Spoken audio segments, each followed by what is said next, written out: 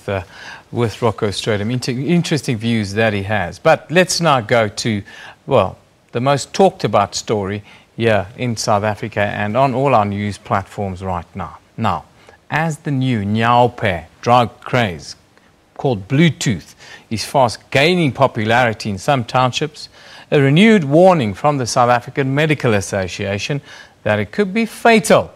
Nyaope addicts are now sharing blood to get high. SABC News filmed three young men who've been hooked on the dangerous narcotic concoction for years on condition that we hide their identities. Now, some of the following visuals may offend sensitive viewers. It's a life on the edge.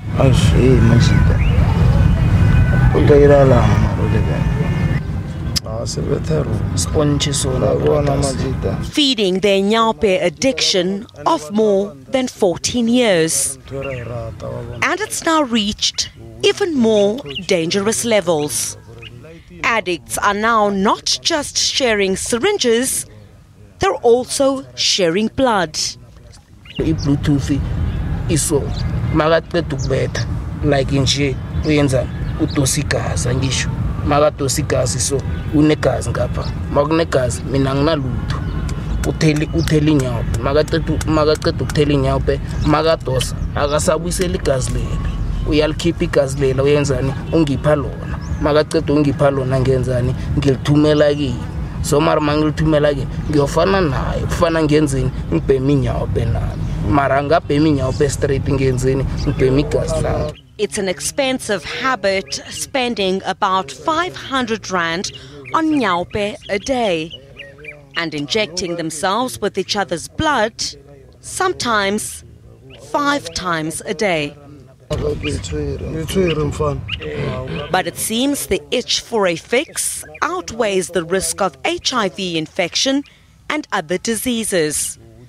For these addicts, the gamble is not too big. Yona ke risk risk risk risk. Mara ke tšhomi yaka ke motho le goreng ke phela le ena ke mo kwaetse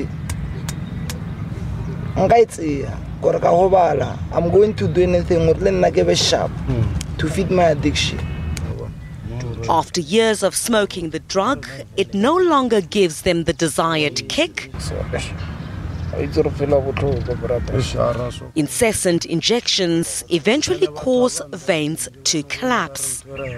tshotshwanela brayaka utlwa tshotshwanela And medical experts have now warned about the deadly consequences of what's commonly referred to as Bluetooth. you take the risk of acquiring bloodborne infections, and in particular infections such as HIV, hepatitis B, or hepatitis C, which are highly infectious viruses.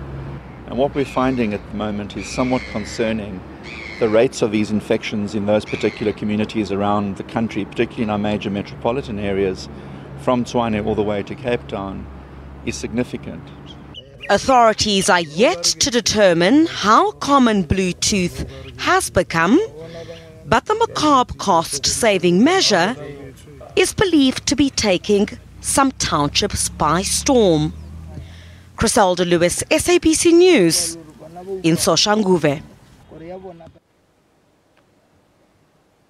Yeah, another terrific piece of journalism there by our own Chriselda Lewis. Of course, we're asking you the question of the day, uh, and the question of the day is Nyaope getting out of control in our communities? Should we crack down more on it? Should we take a tougher stance uh, uh, on it? Well, some of you have been tweeting, yes, we should be doing this. This one uh, from Mlungis, he says, uh, this Nyaope problem seems to be getting worse. I hope it doesn't do to SA what crack cocaine did to the USA. Mlu, it's already happening, my friend. Bantu says, Newsroom, these kids think they're vampires now. Now they're sharing each other's blood. I am Muli Malong. I says, why is Al so reluctant to decisively deal with the drug dealers? We can learn one or two things from uh, President Duterte and Widodo. Yes, kill the drug dealers, she says. Uh, says, Kiwa says, newsroom, I feel like you're advertising this Nyaope drug by what, what you're showing on Bluetooth.